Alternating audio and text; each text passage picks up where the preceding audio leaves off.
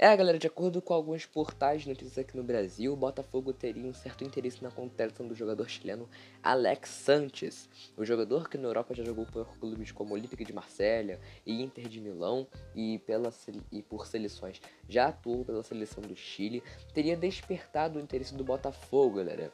De acordo com informações, por exemplo, do portal fogão.net, que é um portal que é único e exclusivo para tratar sobre o Botafogo, o clube de General Severiano teria sim um certo interesse na contratação do jogador chileno.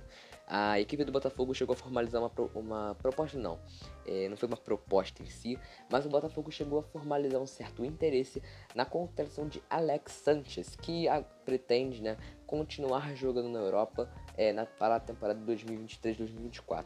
Foi isso um dos motivos para qual o Alex Sanchez não veio para o futebol brasileiro. O jogador quer continuar, galera, atuando no futebol é, europeu. A nova temporada, inclusive, já começou a temporada 23-24. Agora as principais ligas né, do campeonato da, da Europa já começaram. A Premier League, a Liga Italiana, a Bundesliga, é, a La Liga, inclusive, também já começaram. Então a temporada 2023-2024 já foi aberta e o Alex Santos quer sim continuar atuando na Europa é, nessa nova temporada. E isso é um dos fatores pela qual ele não veio pro Botafogo. O clube de General Severiano tinha um certo interesse em sua contratação. Uma, um dos fatores principais seria para o jogador substituir o jogador Tiquinho Soares, que na partida contra o Cruzeiro se lesionou no joelho esquerdo e vai ter que ficar de fora dos gramados por até 5 semanas. Um período de, de recuperação é um pouquinho mais longo, mas o Botafogo está com, tentando contratar peças, né? Ou melhor, estava tentando Recentemente o Botafogo ah, é, confirmou a contratação do jogador Diego Costa. Tem até vídeo aqui no canal já falando sobre essa contratação.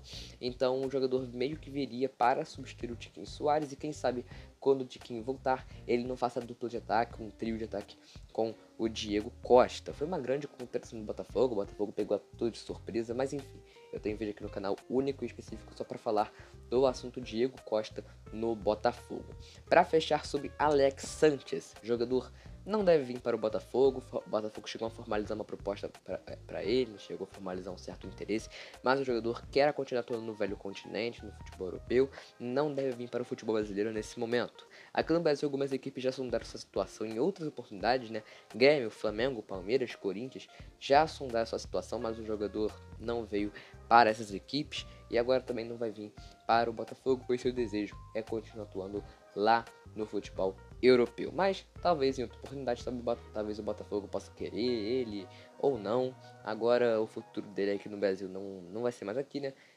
o futuro dele agora está indefinido porque ele quer continuar atuando na Europa. Beleza? É para que eu ficando, galera. Curta, se inscreva, compartilhe no próximo vídeo e até a próxima.